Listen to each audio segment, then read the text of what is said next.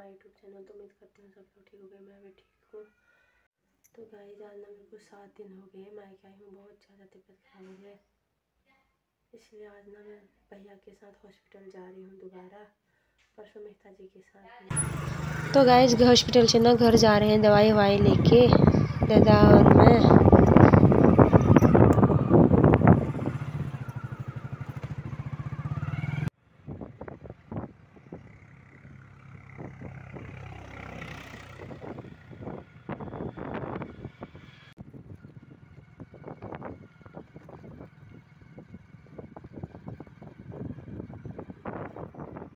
तो guys hospital से ना हम घर आ गए हैं। डॉक्टर ने पर्ची में लिखी थी।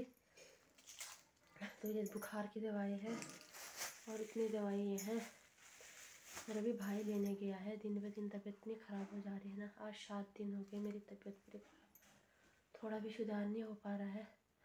बहुत ज़्यादा सर्दी जुकाम चक्कर आ गया। तो गैस खाना खाने के बाद थोड़ा सा बाहर में, छाई में बैठी हूँ। धूप तो बहुत तेज़ वाली लग रही है और अंदर भी बहुत गर्मी हो रही है, पसीना और तो और ज़्यादा तबीयत ख़राब हो जा रही है। और रेखू भी स्कूल से आ गई।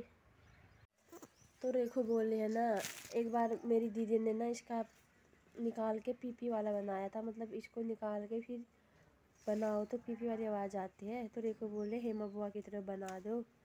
तो देखती हूँ मैं, बन, निकलता है इसका तो मैं इसके लिए बना देती हूँ। तो गाइस मैंने बना दिया, अब रेखू को बजाएगी, बजा। बन गया ना?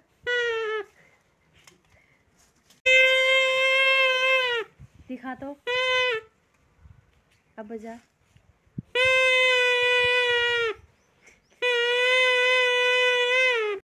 तो गाय जब बाहर पे बैठी थी तो रेखू ना अमरूद लेके आई थी। तो अभी हम ना अमरूद खा रहे हैं।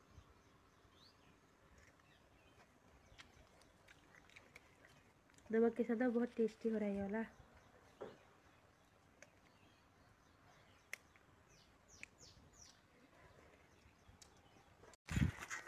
तो गाइस तबीयत ख़राब है, फिर भी हम लोग ना टहलने आए हैं।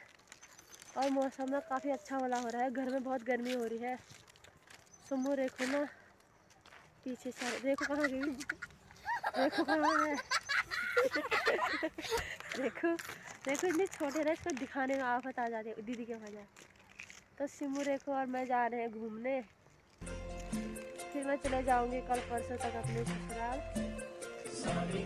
तो गाय मौसम ना काफ़ी मस्त वाला हो रहा है और खेत इतने प्यारे लग रहे हैं ना, बिल्कुल हरे और इतनी दूर तक मस्त लग रहा है।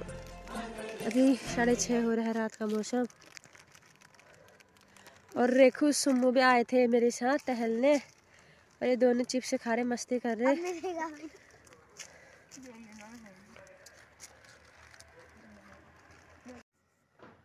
तो गाइज़ हम लोग ना विभूता लगा के आ गए हैं तो देखती हूँ विभूता लगा के कल मेरा बुखार सही होता है नहीं होता है।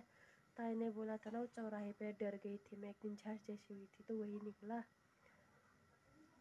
फिर हम ना भाभी के वहाँ भी बैठ गए थे भाभी ने चाय बना के लाई थी तो चाय आए पी के भी घर को आए हैं। तो गाइज़ हम ना साढ़े सात बजे घर पहुँच गए हैं और शुमो लेके आ रहे हलवा।